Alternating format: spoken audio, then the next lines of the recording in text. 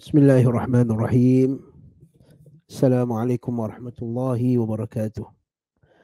إن الحمد لله والصلاة والسلام على رسول الله على آله وصحبه ومن تبعه وواله أما بعد فلا بنا رحمني ورحمكم الله Petang ini kita sambung sekali lagi كتاب زاد المعاد في Fi خير العباد Ibad Karangan Al-Imam Ibn Qayyim Al-Jauziyah rahimahullahu taala. Dan hari ini kita akan masuk bab yang baru iaitu setelah kita panjang berbincang dengan faedah-faedah daripada uh, kisah daripada uh, perang Tabuk. Maka hari ini kita akan masuk pula perbincangan berkenaan dengan uh, Qudum Wufud Al-Arab. Ha. Iaitu tahun iaitu tahun kedatangan delegasi-delegasi Arab. Ha. Okey. Selepas perang Taif maka ada satu peristiwa yang yang besar dalam Islam dia dipanggil Wufudul Arab iaitu kedatangan kabilah-kabilah Arab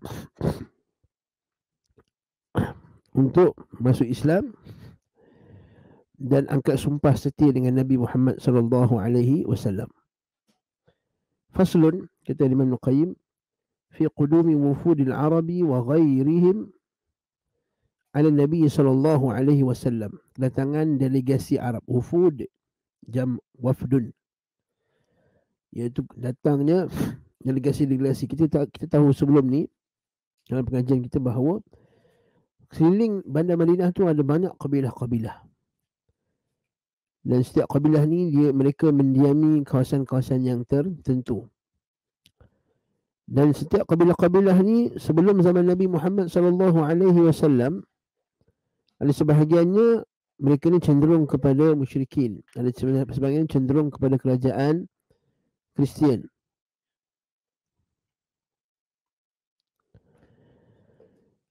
Maka sebahagiannya pula mereka ni bergerak bersendirian mereka ni sebahagian mereka mereka tak masuk Islam mereka tak ikut Nabi SAW sebab apa? sebab mereka tunggu kemenangan Nabi Muhammad SAW so mereka bersikap macam ni mereka kata kalaulah Muhammad SAW ialah orang yang benar pasti Allah Ta'ala akan bagi kemenangan kepada dia. Dan bila Allah Ta'ala bagi kemenangan kepada mereka kepada dia, kepada Nabi SAW maka kami akan ikut Nabi Muhammad SAW ha, macam tu ini sebahagian daripada Arab ketika itu. Sehinggalah pada tahun ke-9 ni, lepas berlaku banyak siri-siri peperangan dan Nabi SAW telah menang dalam banyak perangan tersebut. Dan ketika kisah perang Taif, kita tahu kan perang Taif di mana serangan Nabi tak berjaya. Perang Taif tak berjaya, tak menang, Nabi tak menang. Kerana kubu Taif itu sangat kuat. Tapi kita tahu kan, kita pernah baca sebelum ni, tetapi mereka sendiri yang berjumpa dengan Nabi Muhammad sallallahu alaihi wasallam. So apa mereka jumpa? Mereka kata, apa gunanya kalau kita satu-satunya kabilah kaum yang kelilingnya dah Islam, kita seorang je, kita bertahan dekat Taif ni kita tak Islam lagi. Apa gunanya kita duduk sini? Kita boleh keluar dah. So yang keliling-keliling kita semua dah ikut Nabi Muhammad SAW. Ha, ketika itulah mereka pun kelompok yang pertama yang jumpa Nabi Muhammad SAW ni ialah uh, kaum daripada uh, kaum uh, Bani Thaqif daripada Taif dan mereka pun tu yang kita ingat tak kisah antara Abu Bakar dengan Al-Mughirah bin Syu'bah yang Abu Bakar minta kepada Al-Mughirah bin Syu'bah dia kata ah, Al-Mughirah bagilah kami yang sampai kan ah, bagilah kami yang sam, bagilah aku sampai ke Nabi sallam sebab aku nak bagi berita gembira ni kepada Nabi SAW sedangkan uh, Bani Thaqif tu puaknya Al-Mughirah bin Syu'bah. Uh, tapi sebab Al-Mughirah tahu kalau Abu Bakar yang sendiri yang bagi tahu kat bagi tahu Nabi bahawa uh, puak Bani Thaqif ni masuk Islam maka ketika itu dia akan rasa lebih gembira. Kemudian datanglah utusan Bani Thaqif yang telah disebutkan sebelumnya bersamaan dengan kisah perang Taif sebelum ni. Hmm. Musa bin Uqbah mengatakan, ingat lagi tak kisah tu? Bani Thaqif tuan-tuan, kalau tuan-tuan masih ingat dengan kisah tu bahawa mereka datang dan mereka minta ditangguhkan di uh, ditangguhkan uh, ke apa dia uh, peruntuhan atau pemusnahan berhala. Mereka tak tangguh setahun, Nabi kata tak boleh. Mereka minta tangguh 6 bulan. Kita tak boleh. Dia mereka minta tangguh 3 bulan. Tak boleh. Sebulan. Tak boleh. Dia kata kalau kalau kalau lah berhala di, terus di, dibinasakan nanti nanti apa perasaan wanita-wanita. Nabi kata tak, tak boleh. Dalam bab berhala tidak boleh. Tidak ada apa dia? Tidak ada kompromi dalam masalah akidah. Adapun perkara-perkara yang lain sebelumnya mereka minta untuk ditangguhkan tak pergi haji dulu. Tak apa. Untuk tak nak bayar zakat dulu tak apa. Sehingga kan sebagian sahabat kata, Ya Rasulullah boleh ke masuk Islam tak nak pergi haji, tak nak bayar zakat? Ha. Dan tak nak puasa masa tu.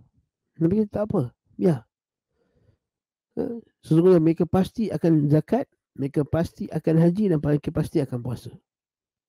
Ha. Jadi benda ni kita kena kita kena ambil uh, kita kena ambil pengajaran daripada kisah ni bahawa untuk masuk Islam uh, kalau orang tidak masuk Islam dengan syarat yang yang fasid masuk Islam dengan syarat yang fasid dengan syarat yang tak uh, apa ni tak tak benar syarat yang tak tak tak sahih boleh selagi mana dia tidak kompromi dalam masalah akidah ataupun uh, dalam prinsip-prinsip usul Islam yang menyebabkan dia terkeluar daripada Islam Waktu bila bila, bila, bila puak bani Thaqif ni nak minta tidak tidak bersolat. Nabi kata kalau tidak solat apa lagi yang tinggal? Ha. Jika tidak solat apa lagi yang tinggal pada mereka? Ha? Nah. Musa bin Ubah mengatakan Musa bin Uqbah wa aqama Abu Bakar linnasi hajjahum. Abu Bakar menuntun kaum muslimin menyelesaikan haji mereka. Tahun ke berapa ni? Tahun ke-9 Hijriah. Ingat eh Nabi Abu Bakar buat haji tahun ke-9, Nabi buat haji tahun ke-10 dan kemudian 80 hari lepas tu Nabi SAW pun wafat. Haji Zulkaidah Zulhijjah Muharram Safar Rabiul Awal uh, bulan Rabiul Awal Nabi SAW wafat. Dan haji habis berapa bulan? Haji habis kita 14 bulan lah kan? 11, 10, kemudian hari Tashriq 11, 12, 13 kan? Jadi hari 13 lah habis dan 14 pun Nabi balik kan? Jadi lebih kurang 14 hari, 14 hari bulan Zulhijjah Nabi balik. Jadi 13 lah tak akhir. Jadi kalau kita katakan Zulhijjah tu ada 29 ada 30 hari, maka ada 16 hari. 16 hari bulan apa? 16 hari bulan Zulhijjah. Kemudian Muharram 29 hari. Safar 30 sebab bulan Islam dia pasti akan menggilir 29 30. Kemudian 12 Rabiul Awal. Nabi SAW wafat kan. Jadi berapa hari tu? Berapa, berapa hari? 6, 9 campur 6, 15 15 campur 2 17 lah Ini 1, 2, 3, 4, 5, 6, 7, 8 87 hari yang benar hmm. Seperti kata Ibn, seperti kata Ibn Abbas Ayat al-yawma akmaltu lakum dinakum wa atmamtu alaikum ni'mati tu Lebih kurang 80 lebih hari uh, Sebelum Nabi SAW wafat hmm, Sahih jadi Abu Bakar menuntut kaum muslimin menyelesaikan Abu menuntun, menuntun maksudnya membimbing lah. So tahun ke-9 Nabi tak pergi haji. Ha, kat sini dalil yang ulama Syafi'iyah kata boleh tangguhkan haji. Okey, iaitu haji ni diwujub ala tarakhi dia panggil. Wujub ala tarakhi bukan wujub ala al-fawr. Bukan wajib bila cukup syarat dia wajib terus pergi. Uh, uh, ulama Syafi'iyah kata uh, wajib boleh tangguh. Ha, tetapi kalau tangguh tu tangguh tak ada sebab, okey, dia boleh pergi jalan lah apa semua, kemudian dia tak tak selesai, dia akan berdosa juga.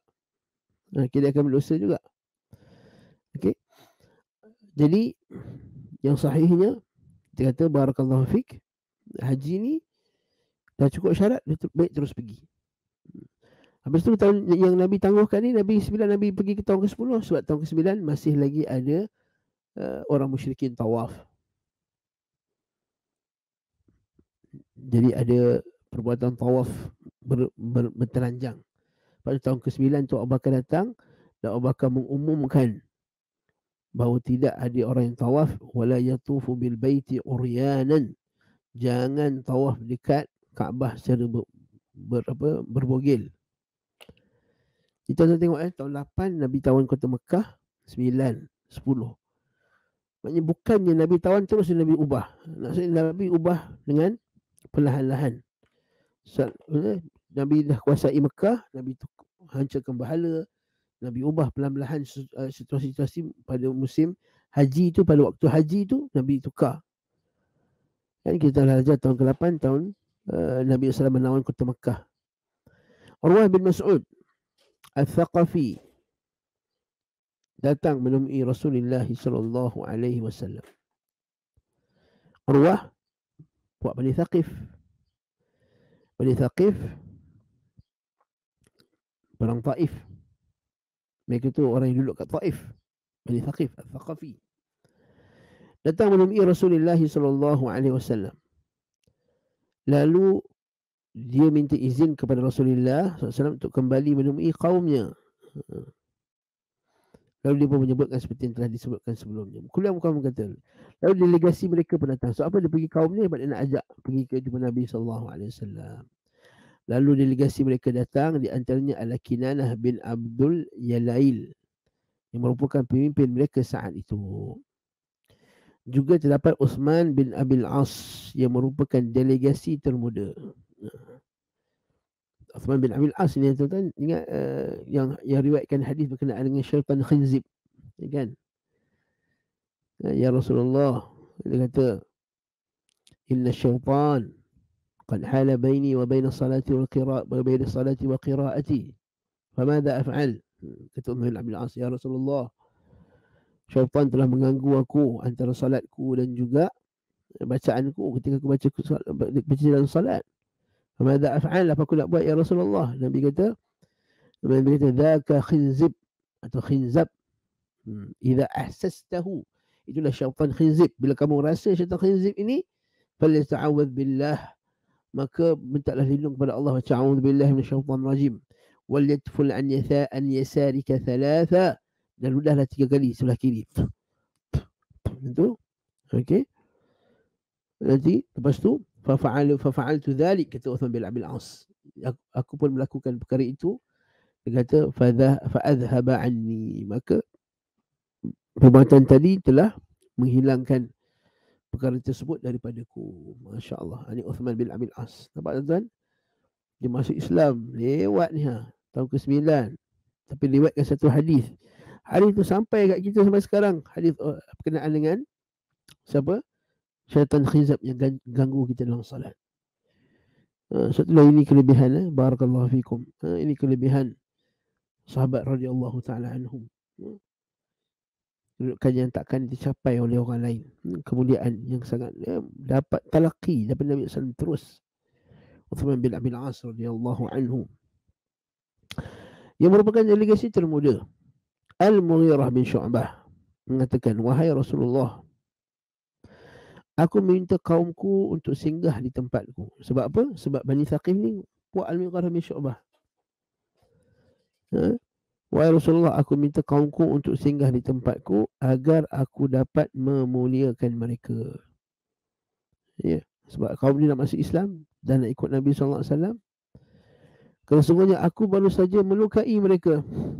Sebab apa? Masa perang Taif tu kan Al-Mughirah bin Syu'bah antara yang serang mereka. Jadi nak ambil hati balik lah. Ha. Sebab kabilah dia sendiri, tapi dia serang. Kerana peperangan, jihad bisabilillah. Bila jihad bisabilillah, tak kira adik-beradik ke, apa siapa ke, la tajilu qawma yu'minuna billahi wal yawmil akhir yuwaduna man hadallahu wa rasulah. Kamu takkan dapati orang yang uh, yu'minuna billahi wal yawmil akhir, iman kepada Allah dan hari akhirat, yuwaduna man hadallahu wa rasulah. Mereka mencintai Allah, mencintai orang yang musuhi Allah dan Rasulnya. Tapi bila mereka datang masuk Islam, ubah, berubah. Al-Mughirah layan mereka dengan baik. Ha, nampak tak barakallahu fi. Kat sini kita kata bila tak dakwah lain nada kita. Nada jihad lain, nada membantah lain. Nada membantah ke kebatilan itu lain. Tapi nada dakwah itu nada, nadanya lain. Ha, jadi kita kena ada beza-beza nada tuan-tuan dan Allah. Ya kita ni ahli sunnah ni ialah ahli yang fatilul wara dia fatil dia bijak dan dia wara ha, bukannya dia sembrono dan bijak dan wara ni datang dengan apa datang dengan ilmu dan juga bersama dengan para ulama dan juga belajar ha? kan Ya, sebahagian kita Allah musta'an ya, bersegera musta'ajil. Ya, bayangkan kalau macam ni datang kan. Dia layan dengan baik. Itu dia kita juga. Kalau orang datang, layan dengan baik. Nak masuk Islam, datang jemput dia, cakap dengan baik. Ha, jangan cakap dengan soal kita ni sombong, kita ni hebat. Allah musta'an. Eh? Sebahagian ya, orang eh, yang yang tak tak belajar adab dari Nabi SAW. Wahai Rasulullah, aku minta kaumku untuk singgah di tempatku agar aku dapat memuliakan mereka.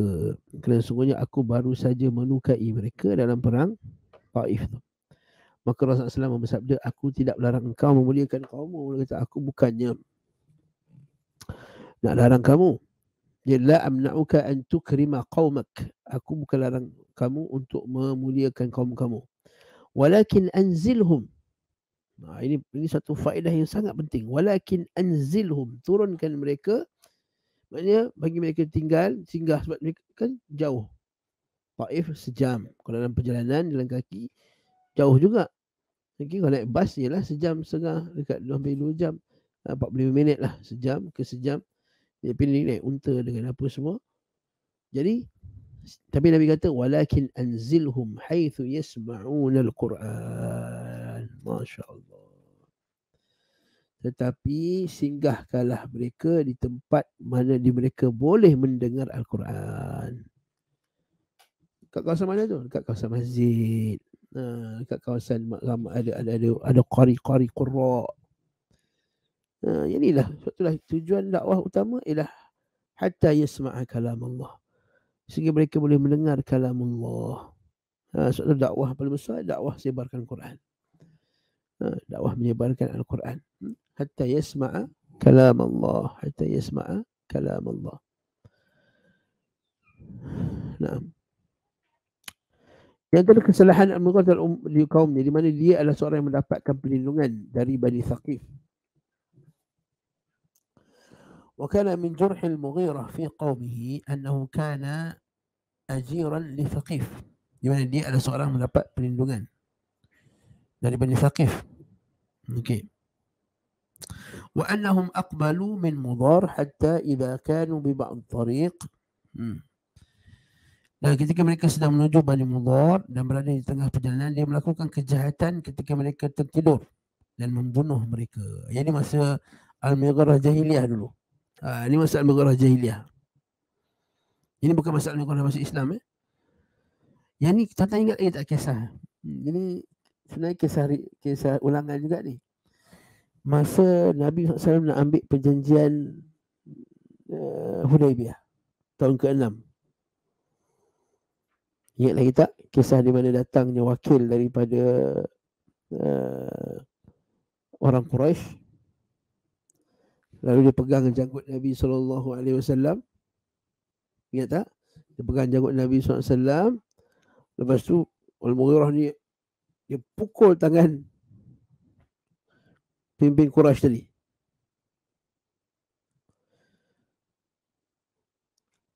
Akhirnya Al-Mughirah kata apa? Kau tak sama. Kedudukan kau tak sama dengan dengan Muhammad sallallahu alaihi wasallam dengan Rasulullah. Kenapa kau pegang janggut dia sebab orang Arab ni kalau kita satu level satu satu satu apa satu kedudukan lah. Anak murid anak murid. Kita orang Arab biasa akan pegang janggut. Ha pegang janggut.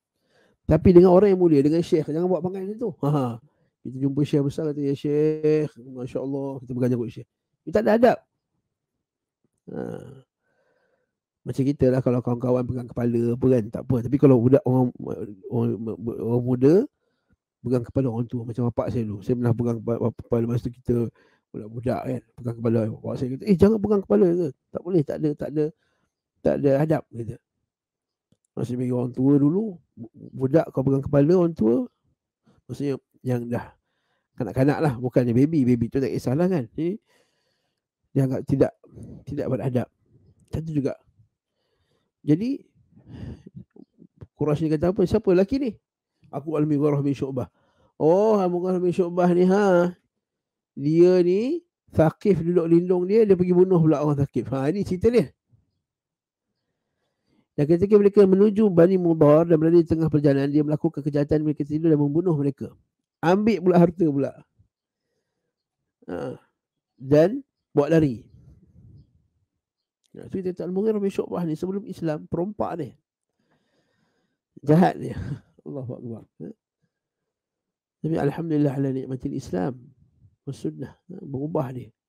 Tapi dia punya ketegasan dia, dia punya greber dia Kelantan kata ha Terengganu kata greber dia tu ada lagi digunakan untuk Islam macam tu kita nak ha, bukannya kalau dah masuk Islam jadi lembik tengkuk bukan ha, ketegasan dia keberanian dia mesti diteruskan maka Rasulullah SAW adapun Islam maka kami terimanya sementara hati tersebut kami tak terima maksudnya dia dah masuk Islam kita terimalah keislaman dia yang dulu perangai dia tak betul itu kita dulu kerana sesungguhnya kami adalah kaum yang tidak berlaku khianat Nabi SAW menolak mengambil seperlima daripada harta yang dibawanya.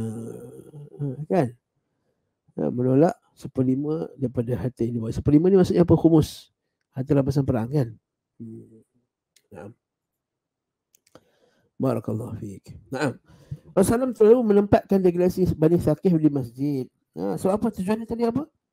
Supaya mendengar kalam Allah dan mendirikan tenda bagi mereka buat kemah. Kena ingat eh, zaman tu mana ada hotel, mana ada rumah besar-besar, nak tumpang rumah. Jadi mereka buat kemah, dudukkan kemah. Agar mereka dapat mendengar Al-Quran. Apa pengajaran kat sini tuan-tuan? Dalil bahawa masa tu masjid adalah memang tempat orang biasa baca Quran. Ha. Kan? dan menyaksikan kaum muslim mendirikan solat menunjukkan bahawa imam tu baca solat baca, baca, Quran dalam solat nah, kat sini dah kita tengok faedahnya kalau kita pilih imam yang bagus pertama pilih imam masjid pilihlah imam yang hafiz Quran yang baik-baik bagus bacaannya yang kita pelik lah kadang-kadang masjid-masjid ni minta maaf lah kan pejabat-pejabat agama yang berkaitan imam yang dihantar Allah baca Quran sakit perut Allahu Akbar Ha? Sakit perut kita buat ni. Baca surah sajadah pun tak betul. Minta maaf nak kutuk ni. Okay? Lalu sebuah masjid di Kuala Lumpur ni lah. Ha. ha. Sampai saya pernah sekali saya rekod. Dan saya tunjuk pada orang. Betul tak saya kata bacaan ni salah. Subhanallah. Ha.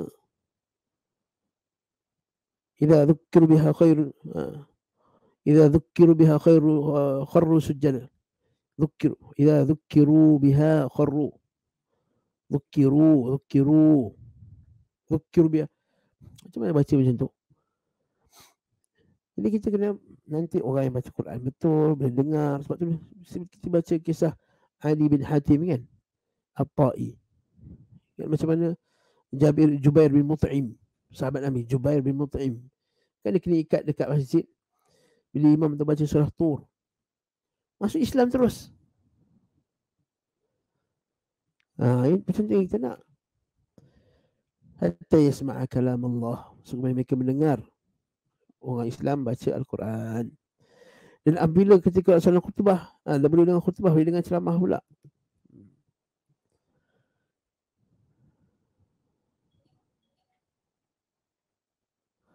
Rasulullah SAW tidak menyebut perihal dirinya. Nabi tak kata apa. Oh, uh, tak, tak cerita pasal kelebihan dia tak apa biar biar dia dengar Quran ketika delegasi kaum faqih mendengarnya mereka mengatakan dia menyuruh kita untuk bersaksi bahawa dia adalah Rasulullah sementara dia sendiri tidak mempersaksikan usbahnya ini faqih. Ah, ini Arab Arab Arab Badui. Dia kata Muhammad ni dia suruh kita mengaku dia Rasulullah tapi dia pun tak cakap dia tu Rasulullah. Dan ketika ucapannya sampai, mereka sampai kepada Nabi Sallam bagi dia pun kata, uh, Nabi pun cakap, apa dia? Fa inni awwalu man syahida anni Rasulullah. Dan akulah orang pertama yang menyaksikan bahawa aku adalah Rasulullah. Aku adalah Rasulullah.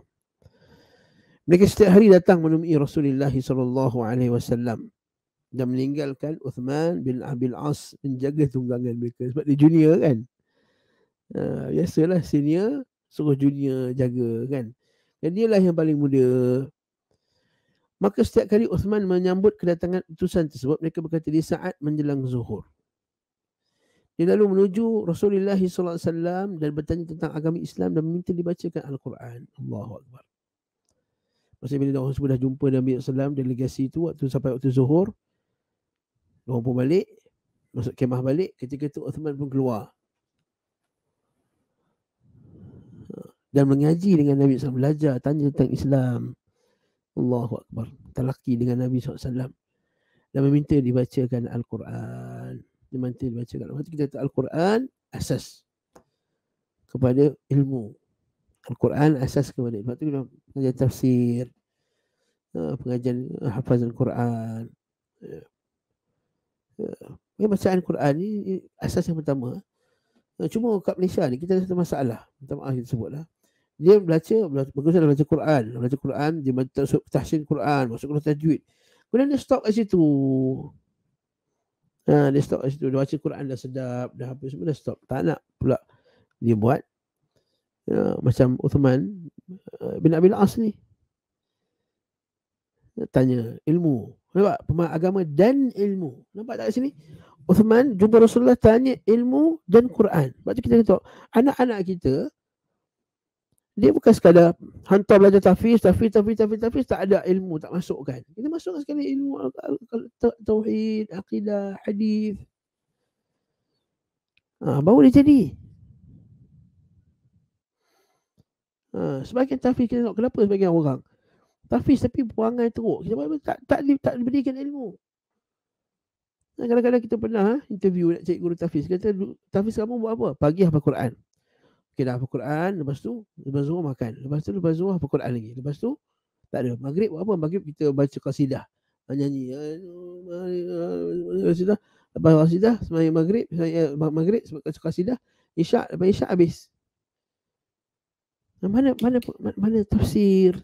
Mana hadis? Mana akhlak? Mana adab? Ha, belajar. Jadi kita kata, nampak tak Cik Allah datang bertanya tentang Al-Quran ilmu dan Al-Quran ilmu dan Al-Quran. Itu asas orang Islam. Sehingga orang bolak balik pergi baca balik pergi baca balik dapat ilmu.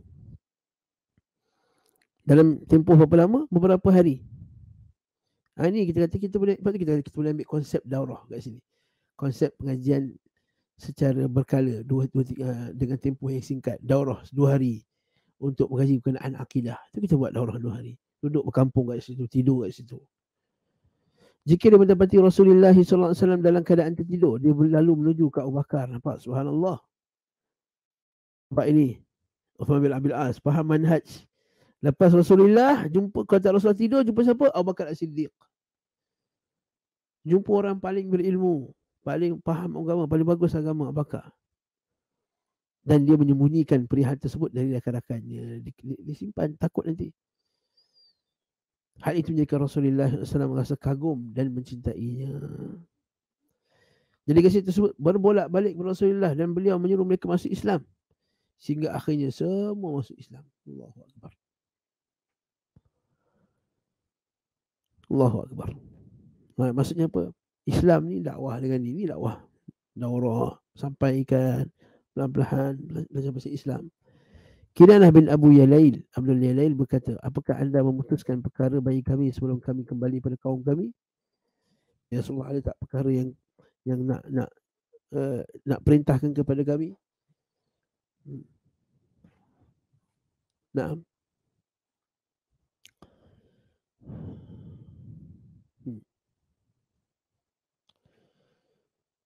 Maka dia kata hal anta muqadiyan hatta narji'u ila qaumina adakah kamu nak putuskan nak, nak, nak, nak jatuhkan satu hukuman kepada kami sebab kami masuk Islam yang di Rasulullah ada tak apa-apa yang kami perlu buat maksudnya. Kata na'am ya. In antum aqrartum bil Islam uqa, uqadikum. Jadi kalau kamu terima Islam maka aku akan putuskan urusan kalian. Maksudnya aku akan memerintahkan kalian dengan perintah-perintah. Hmm. Maka ada keputusan tak? Ada keputusan. Maksud keputusan damai. Jika tidak wa illa fala qadiyah. Maka tak ada isu. Maka sama ada perang ataupun tidak ada perdamaian antara kamu. Sama ada masuk Islam dan perdamaian ataupun perang. Wala sulhu baini wa bainakum. Yang ini yang kita sebut. Ini ya inilah dia isi daripada awal surah At-Taubah tu. Bara'atun minallahi wa rasulih. Kan. kan? Wa in nakathu aymanahum min ah, bila-bila mereka melanggar janji mereka. Ha? Ha. Dan bagi mereka tangguh arba'ata ashhurin wa alamu annakum annahum ghairu mu'jizillah. Bagi mereka tangguh arba'a ashhur, 4 bulan.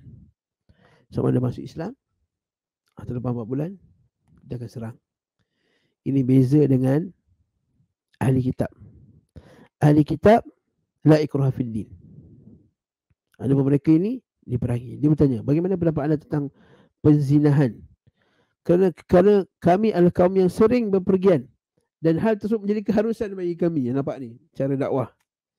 Ya Rasulullah, boleh tak kami berzina? Sebab kami ni selalu musafir. Bila kami musafir, yalah, tak ada teman, tak buat teman. Musafir jauh pergi Syam, berbulan-bulan. Jadi keinginan seksual kami nak buat macam mana? Dan itu benda yang kami selalu kami, kami kena buat. Wala budda lana minhu. Kami mesti kena buat. Ini adalah keharusan bagi kami. Ha, macam orang orang macam orang kafir sekarang kata, eh, kita kena buat seks, seks, seks, seks ni macam makanan. Kalau tak ada, tak ada seks, macam mana kami nak buat? Ha. Maka apa Nabi SAW jawab? Ha. Nabi kata huwa alaikum haram. Nabi direct ke? Ha. Huwa alaikum haram. Perzinahan, perzinaan itu diharamkan ke atas kalian. Fa inna Allah azza wa jalla yaqul wa la taqrabu zina innahu kana fahishatan wa sa'a sabila. Jangan dekati zina kerana dia adalah benda yang fahishah. Keji. Wasa'a sabila. Nampak? Mudah tak saya Nabi jawab? Haram. Dalil ni Al-Quran. Tak ada pula kata Nabi ni tak psikologi lah. Kita kena dulu. Benar kena dulu pegang-pegang dulu. Ha, dia baru masuk Islam. Takkan nak haramkan terus zina. Kita bagi mereka ni. Usah haramkan zina dulu. Kita jangan cakap zina tu haram. Kita kata tak sesuai. Eh, tak, tak, tak, tak. Nabi tak kata macam tu perkara fundamental, perkara usul, perkara yang pembeza antara al-haq wal batil tak boleh di dikompromi. Wala taqrabu zina innahu kana fahishatan wa sa'a sabila. Qalu afara'aita riba fa innahu amwa fa innahu amwaluna kulluha. Macam dengan riba kerana kami ni harta kami semuanya riba. Maka Nabi kata, lakum ru'usu amwalikum. Kamu ambil pokok dia. Ya, katakanlah kita dah waktu hutang, dibayar hutang, kemudian lebih-lebih tu riba dia ambil. Bila taubat, pulangkan balik riba tu. Walakum ru'usu amwalikum. Ya ayuhalladzina amanu taqullaha wa dharu ma baqiya minar riba. Jelas. Wahai orang beriman, bertakwalah kamu kepada Allah dan tinggalkanlah riba. In kuntum mu'minin. Masya Qala afara'aita al-khamr macam mana pula arak? Ha, khamar. No khamar adalah saripati tanaman tumbuhan di tanah kami dan satu menjadi keharusan bagi kami. Khamar ni kami dah biasa minum. Dan kami tanam pula pokok-pokok dia. Antam dubba naqib wal muzaffat tu kan kita dengar pernah dengar hadis tu. Tak boleh, haram juga. Nabi kata, Inna Allah qad haramaha. Allah Ta'ala telah mengharamkannya. Ya ayuhalladzina amanu innamal khamru wal maisir wal ansabu wal azlam wal jisum min amali syaitan fajtanibuhu la'alakum tuflihun. Wahai yang beriman sungguhnya minum arak, berjudi, berkorban untuk berhala mengundi nasib dengan pandai alat termasuk pada syafan. Maka jauhilah perbuatan tersebut agar kamu mendapat keuntungan.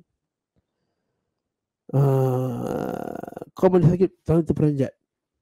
Dan sebagian antara mereka berlepas diri daripada sebagian lain. Eh, Hmm.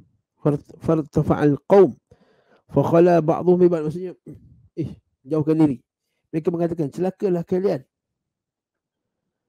Sebenarnya kami khawatir jika kami menyelisihinya. Waihakum. Inna nakhafu in khalafnahu yawman ka yawmi Makkah intaliqu luka lukatibuhu ala ma sa'alna.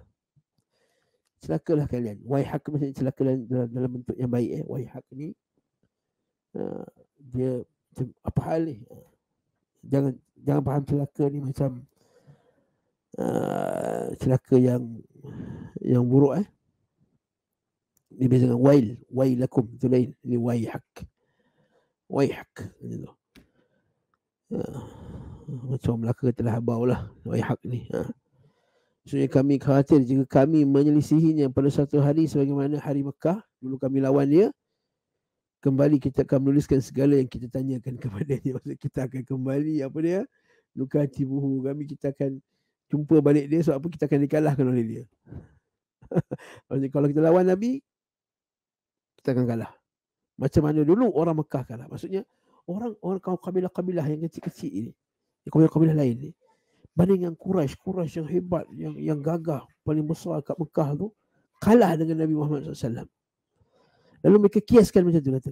Kalau kita lawan Nabi, macam dulu orang Mekah lawan Nabi, kita akan luka tibu. Ha. Sebenarnya salah ni. Kita akan menuliskan segala yang kita tanya kepada ni. Salah terjemahan. Luka tibu maksudnya apa? Kami akan muka tabah. Kami kita akan minta dibebaskan kita. Ha. Benarlah anda mengambil semua yang anda minta. Bagaimanakah pendapat anda tentang Ar-Rabbah? Ar-Rabbah Lata berhala.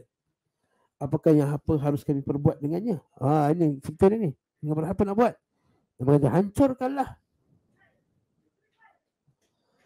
Dia kata wahai hak. Kalau ni Ar-Rabbah ini kita Ar-Rabb. Maksudnya Ar-Rabb. Kita panggil Rabb kan Tuhan.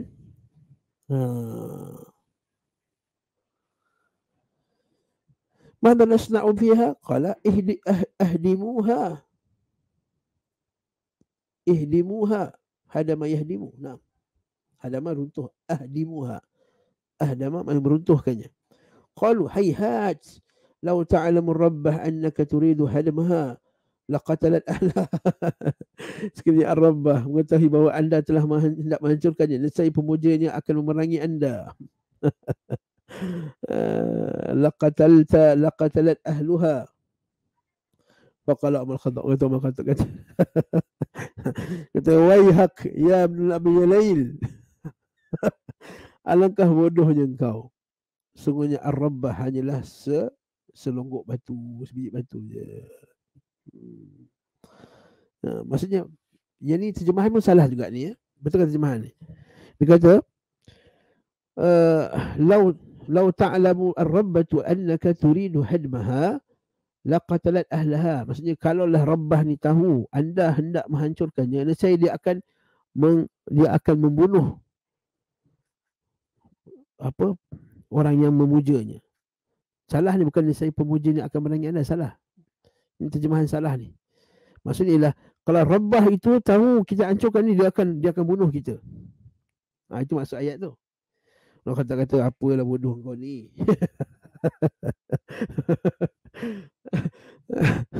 Kata wahai ya ibn laili ma ajhalak. Ah betapa jahil yang kau ni. Ah, kan? Ini cara uslub ta'ajjub kan? Ma ma ajhalak ma azfarak ma aqlak kan? Ma ajhalaka. Betapa jahil yang kau ni bodoh yang kau ni.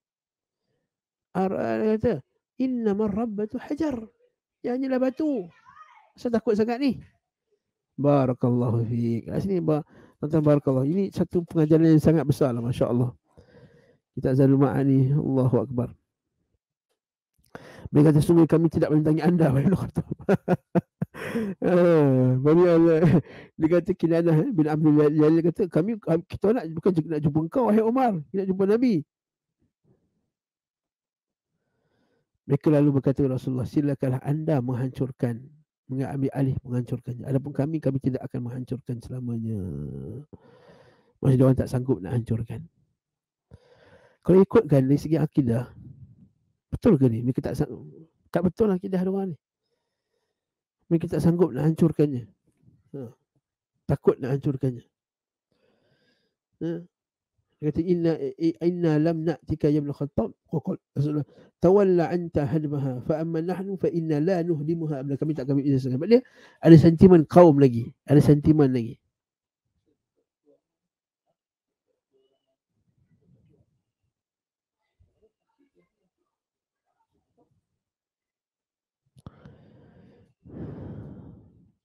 نعم.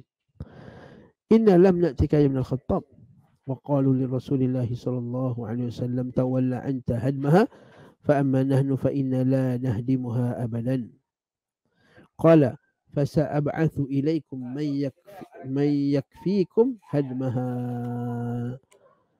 Uh, aku akan mentus orang yang akan mewakili menghancurkannya. Mereka pun SAW membuat perjanjian. Maka Nabi kata, tak apalah kalau kamu tak nak hancurkan, kami hancurkan. Kira lah bila kita perbolehkanlah kami terlebih dahulu berangkat sebelum utusan anda. Kalau anda mengutuskannya mengikut jejak langkah kami kerana sebenarnya kami lebih mengetahui tentang kaum kami. Dia kata kalau nak hantar pasukan boleh kata ya Rasulullah kalau nak hantar pasukan pun nak hancurkan berhala tu biarlah kami pergi dulu. Sebab kami takut nanti kaum kami nanti melawan kami. Ha, melawan nanti utusan nanti. Maka Rasulullah bersama mereka muliakan dan memberi mereka hadiah. Ah, Masya Allah. Ah, dakwah ni dakwah bagi hadiah. Muliakan. Ha, tak kata apalah. Ha, lepas tu Umar Khattab dia keras kan dia Apa kau ni jahil kau ni batu. Ha, dia kata kami kan datang jumpa kau wahai Umar. Ha, macam tu lah. Kan. Dan Nabi tak kata macam tu. Ini ini ini benda yang kita kena belajar lah kadang-kadang kan. Uh, bila nasi setengah-setengah situasi ya, ya kalau tak cakap tu lagi baik lah. Tak cakap begitu lagi baik. Ya. Mereka mengatakan wahai Rasulullah pilihlah seorang pemimpin bagi kami yang menjadi imam bagi kaum kami. Yang ada ni part ni. Baru masuk Islam tapi dah dah faham bahawa bila dah dah masuk Islam Nabi itu ketua mereka. Ha, mereka tak kata ah biarlah kami kami dalam hal pemerintahan uh, kami uh, tentukan hak kami. Kami tak nak pakai Rasulullah SAW. Ah, yang inilah pemikiran yang ditanam oleh orang kafir. Ah, da' ma li qaisar li qaisar wa ma lillah lillah. Ha, tinggalkan utusan pemerintahan tu kepada raja. Apa urusan Allah? Itu urusan Allah. Ha, nampak? Ini Masya Allah. Ha, pengajaran yang sangat mantap. Macam orang Arab dia. Nampak tak? Dia kata, Rasulullah pilih pemimpin kami. Kita tahu kalau Rasul kita dah masuk Islam, Rasulullah tu ialah pemimpin kita terbesar, maka pemerintahan Rasulullah tentukan. Rasulullah SAW meminta Uthman bin Abil As. yang paling muda tadi, yang tukang jaga unta tadi, Nabi lantik dia. Sebab apa? Sebab apa Nabi lantik dia? Sebab dia yang paling alim sekali. Allahu Akbar. Uh, jadi ini dalil bahawa bukan semata-mata senioriti umur yang kita nak. Yang penting orang yang ada capability, ada ability dan ada capability untuk memimpin.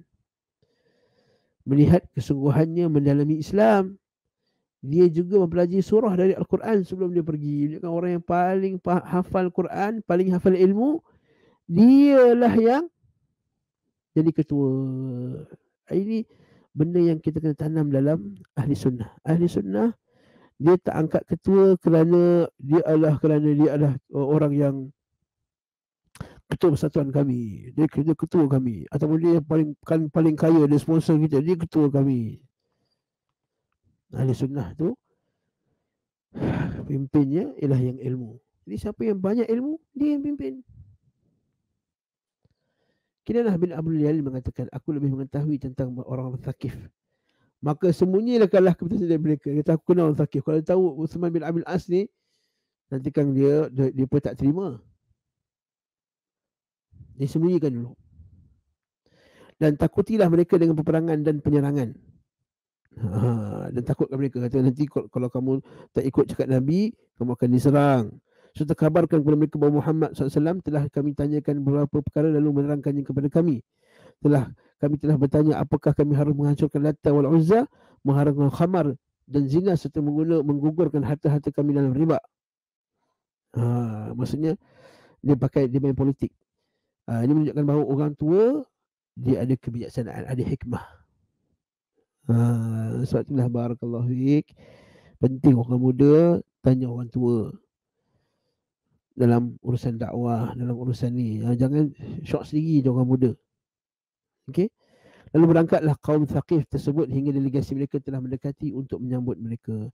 Ketika Bani Thaqif melihat mereka berjalan dengan cepat dan menghela unta serta pakaian mereka terlihat lusuh layaknya kaum yang bersedih dan bermuram durja dan tidak kembali dengan membawa kebaikan maka sebagian mereka bertanya kepada mereka utusan kalian tidak datang dengan membawa kebaikan dan mereka kembali tanpa kebaikan tersebut lalu berjalan menuju Al-Lata lalu mereka singgah dekatnya lalu Al-Lata adalah berhala yang berada di tengah-tengah kaum Bani Taif yang disubungi dengan sembelihan haiwan korban sebagian haiwan korban disembelih di Baitullahil Haram mereka berkata salah seorang dari kaum Thaqif ketika itu telah tiba mereka dengan sesungguhnya mereka tidak mahu perjanjian dengan melihat lata. Maksudnya dia kata apa? Dia berlakon. Sedangkan mereka dah Islam kan? Mereka berlakon. Utusan ni kata. Buat muka sedih kata. Kita dah jumpa dah dengan Muhammad ni.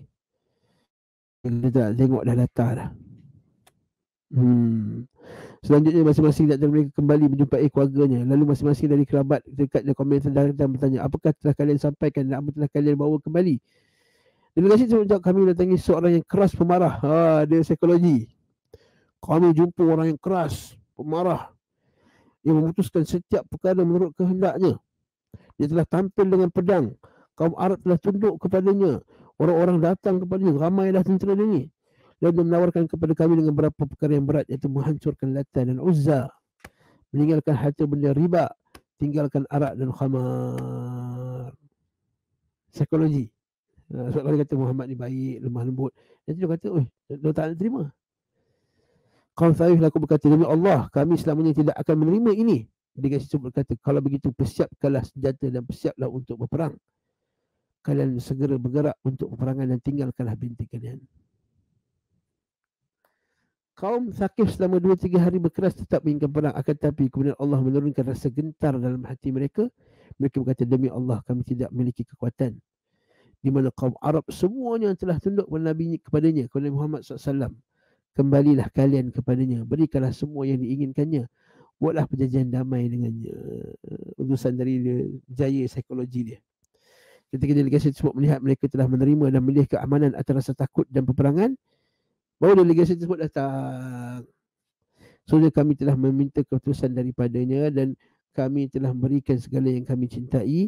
Kami juga menyebutkan syarat yang kami inginkan dan kami mendapatkan beliau sebagai seorang yang paling bertakwa, paling menepati janji, paling pengasih, paling jujur. Ha, lain ayat dia. Kan, sesungguhnya kami dan kalian telah diberkati dalam perjalanan menjumpainya dan atas segala keputusan yang bagi kami terimalah ampunan dari Allah. Kau Bani berkata lantas mengapa kalian menyembunyikan perkara ini? Dan kalian telah sangat meresahkan kami. Mereka berkata kami ingin Allah mencabutkan kesombongan syaitan dari hati kalian. Masya Allah. Allahu Akbar. Maksudnya mula-mula tadi kami takutkan kau sebab apa? Kamu ni sebenarnya sombong. Kamu rasa kamu kuat. Bila kami takut-takutkan kau dengan kehebatan ini. Bila kamu dah masuk Islam dan lembut hati kau Nabi Muhammad ni pengampun. Dia boleh maafkan kau, kamu, kamu semua. Ya, lalu mereka masuk Islam di tempat mereka dan mereka menanti selama beberapa hari. Datanglah utusan Rasulullah SAW dipimpin oleh Khalid Al-Walid. Dan mereka terdapat Al-Mughirah bin Syu'bah. Ketika para utusan tersebut mereka langsung menuju ke Latta untuk menghancurkannya. Kaum Thaqif pun seluruhnya berkumpul. Laki-laki, wanita, anak-anak hingga keluar juga wanita-wanita. Semua kaum Thaqif tidak akan menyangka bahawa Latta akan dihancurkan dan mereka menyangka bahawa Latta akan menghalanginya. Al-Mughirah bin Syu'bah berdiri dan mengambil Al-Kirzin. Kirzin ni apa tu? Atas kaki buah. Kirzin tu apa? Kapak yang tajam. Namun dia jatuh rebah. Ha, boleh dah angkat, terjatuh. Jadi orang tak jatuh. Oh, nampak tak? Hmm. Allah telah menjauhkan Al-Mughirah. Ar-Rabbah telah membunuhnya. Oh. Allah Akbar. Sebenarnya bukannya rebah apa terjatuh. Oh, bukannya sebabkan berhala tersebut. Ha, nampak tak ini orang yang sembah berhala ni dia ada pemikiran macam ni. Pemikiran ni orang nampak tak? Jatuh ni sebab berhala ni. Ha, ni sebab pakai tangkal ni lah sebab tu dia jatuh. Sebab pakai tangkal ni lah sebab dia menang. Sebenarnya tak ada kena-mana. Kan lalu kat satu uh, uh, busuk puaka lepas tu perut jadi kembung, sakit perut. Ah sebab busuk puaka lah. Dan memang mamat tu tadi makan benda silap makan sakit perut lah. Dia kata sebab busuk puaka tu. Ini pemikiran ditanam khurafat ditanam dalam pemikiran orang yang syirik kepada Allah Subhanahu Wa Taala. Jadi ini kita kata mereka dah masuk Islam ke belum? Dah masuk Islam. Ada sakit baki jahiliyah tak? Ini maksudnya orang yang baru masuk Islam dia masih lagi ada saki baki perangai jahiliah. Jadi kita kena sabar. Ha. Maka mereka berkata, ha, siapa yang nak yang kalian ingin, siapa yang kalian inginkan, silalah dekat dan silalah cuba dengan sungguh-sungguh untuk menghancurkannya. Demi Allah dia tidak akan sanggup. Sekali lagi Abu Hurairah bin Syu'bah bangkit berdiri. Semoga Allah Ta'ala memburukkan kalian. Allahu Akbar. Ha, semoga Allah Ta'ala memburukkan kalian. Allahu Akbar. Best itu baca cerita ni kan. Okay. Semoga Allah Ta'ala memburukkan kalian. Wahai seluruh kaum fakir. Sesungguhnya berhala tidak lain hanyalah batu yang hina dari tanah liat. Segala sambut pengampunan Allah dan beribadahlah hanya kepadanya tauhid. U'budullah wahda. Kemudian dia pukul pintu dan merosakkannya. Kemudian dia menaiki dinding dan bawa bersama. Lalu mereka menghancurkan batu tersebut. Batu demi batu sehingga meratakannya dengan tanah. Lalu pemegang kunci berhala berkata sesungguhnya pondasinya akan murka dan akan menelan mereka. Ketika Abu Hurairah mendengar itu kata Khalid biarkan aku menggali pondasi biar aku korek dia punya dia punya apa uh, tiang dia dia pun menggali tiangnya sehingga mengeluarkan semua tanah ni dan mengeluarkan semua perhiasan dan pakaiannya. Hal tersebut menjadi orang sakif terdiam. Maka seorang wanita tua dari mereka kehinaan telah menyelamatkannya dan mereka meninggalkan Al-Gojo dan para penjaga. Maksudnya, uh, ya apa yang pembunuh semuanya. Pesan beliau SAW akhirnya kembali sehingga mereka menemui Rasulullah SAW beserta perhiasan dan pakaian berhala tersebut. Lalu Rasulullah SAW membahagikannya pada harta bagi-bagi bagikan. Ini ialah harta rampasan daripada berhala yang dihantar oleh pemerintah. Jangan tuan-tuan kiaskan dengan kisah ni tuan-tuan pergi nampak mana tok kunci ni warna merah tepi jalan tuan-tuan pergi curi pula. Jangan. Tak sama dengan pemerintah itu lain. Pemerintah ya harta itu boleh dirampas dan boleh dibagi-bagikan. Beliau salam memuji Allah atas pertolongan kepada Nabi-Nabi dan pemuliaan agamanya. Dan disebutkan bahawa Nabi salam memberikannya kepada Sufyan, Abu Sufyan bin Harb. Dan ini adalah lafaz Musa bin Uqbah. Hmm. Dan Nabi SAW kata bahawa Nabi tiba ditabut pada bulan Ramadan dan dikasih sakit sakif tiba pada bulan itu menemui beliau. Puan beliau sakit datang pada bulan Ramadan.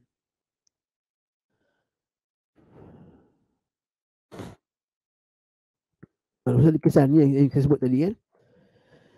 Setelah kami lihat dalam surat Abi Daud ada hadis Jabir mengatakan kaum sakin mencari kepada Nabi bahawa SAW mereka tidak akan dikenakan zakat dan juga jihad. Ini saya sebut dulu kan.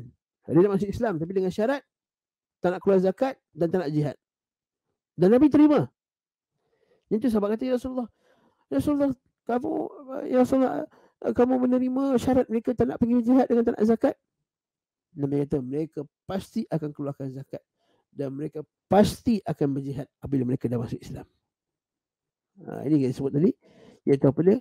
Letakkan syarat yang yang tak sahih. Hmm. Dan terdapat dari sunnah Abi Daud atau Yalisi dari Uthman bin Amir wala Islam merintahkan kepadanya untuk membangun masjid Taif di tempat bekas berhala mereka. Buat masjid Taif dan sampai sekarang masjid Taif ini kekal. Alhamdulillahirabbil Semoga Allah Subhanahu wa taala ha, meneruskan kekuatan umat Islam di bumi ini selagi mana mereka ni berpegang pada tauhid. Masya-Allah. Masya-Allah. Kisah ni eh, patut kita kita ceritakan kepada anak-anak.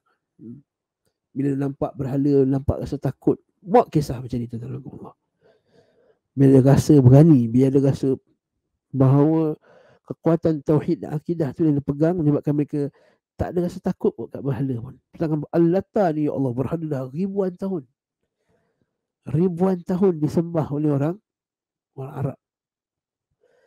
Dan tak ada pula Nabi kata kita kekal kalah ini heritage, heritage. ha, heritage kan. Ini betul lah kita kata. Ha? Nak pula dah tak ada orang sembah dah berhala tersebut. Hancur kan? Mereka nak masuk Islam. Kan? Seperti mana hadis Al-Hayyaj. Dia kata, Ala ab'athuka bima ba'athani Rasulullah wasallam Nabi kata pada Al-Hayyaj kata takkah aku utuskan kau tidak mau aku utuskan kau sebagaimana Rasulullah utuskan aku. Alla yana timthalan illa tamastah iaitu jangan tinggalkan berhala mereka yang kamu binasakannya. Wala qabran musyrifan illa sawaitah dan tidaklah kamu lihat kubur yang ditinggikan melainkan kamu ratakannya. Allahu akbar. Ila tauhid dan dakwah Nabi sallallahu alaihi wasallam. Wallahu taala alam bisawab saya nak berhenti kat sini ada soalan ke? Akhir karim. Hmm, tak ada soalan. Jadi insyaAllah kita berhenti kat sini. Ini tanda kat kitab kita. Berkenaan dengan lepas ni Kita akan tengok pula uh, Kisah seterusnya. Iaitu kisah Amru bin uh, Amru bin Aus dari Uthman bin Abil As Kisah yang diangkat oleh ketua ni kan Sebagai pemimpin. Wallahu alam سبحانك اللهم وبحمدك أشهد أن لا إله إلا أنت أستغفرك وأتوب إليك. صلى الله على محمد وعلى آله وصحبه وسلم والحمد لله رب العالمين. السلام عليكم ورحمة الله وبركاته.